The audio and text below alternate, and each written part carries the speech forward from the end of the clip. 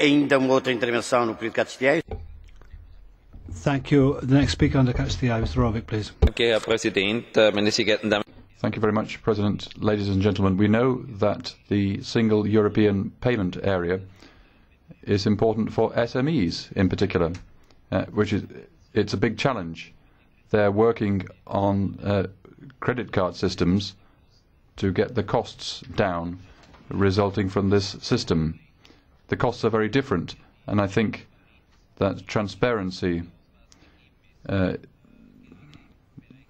isn't what we what we would want it to be. In a crisis, we need support for companies.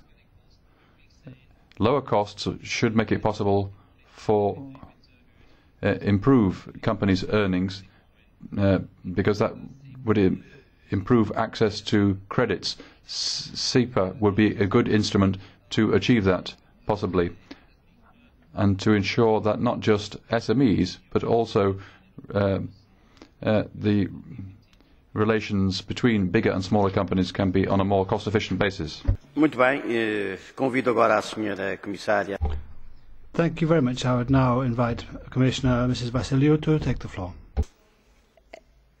I would like to thank uh, the Econ Committee and its chair, Madame Beres, for this debate. The Commission welcomes Parliament's support for